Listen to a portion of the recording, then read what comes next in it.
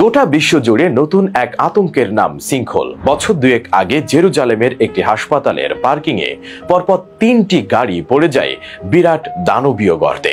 মুম্বাইয়ের একটি গাড়ি পার্কিং এও হঠাৎ করে এমন দানবীয় গর্তের সৃষ্টি হয়। এভাবে পরপর পাঁচ দেশে দানবাকৃতির গর্তের ঘটনা ঘটে।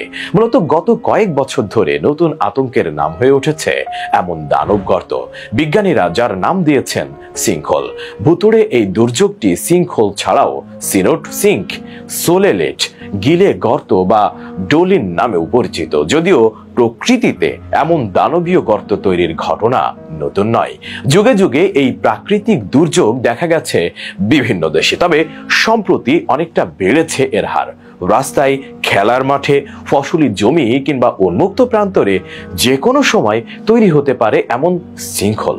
বিজ্ঞানীরা বলছেন, কয়েক দশক এমনকি শতাব্দী লাগে একটি শৃঙ্খল তৈরি হতে। ইউএসজিএস বলছে, ভূগর্ভস্থ পানি অথবা খনিজ উত্তোলন করা হলে মাটির অভ্যন্তরে ফাঁকা জায়গা তৈরি হয়। নিচের স্তরের মাটি যখন ভূমির ওপরের চাপ নিতে না পারে, তখনই ভূমি ধসে পড়ে এবং তৈরি হয় বিশাল আকৃতির এই গর্ত।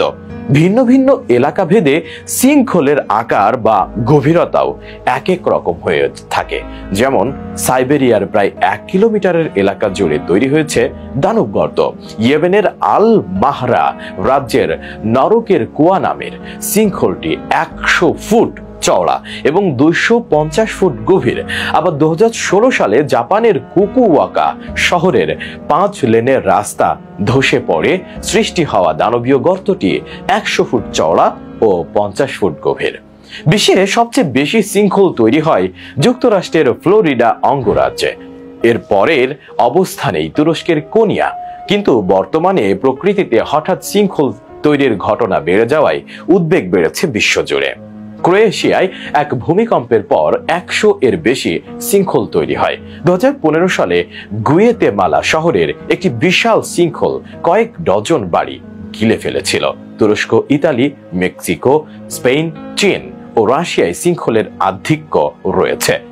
ঝড় বৃষ্টি ভূমিধসের মতোই বাড়ছে সিংহল তাই বিশ্বজুড়ে এই দানব দুর্যোগের উৎপত্তি ও কারণ নিয়ে চলছে নানান আলোচনা। আপাত দৃষ্টিতে এটিকে প্রাকৃতিক ঘটনা মনে করলেও এসব দানবীয় গর্ত সৃষ্টির পেছনে রয়েছে মানুষের কর্মকাণ্ড।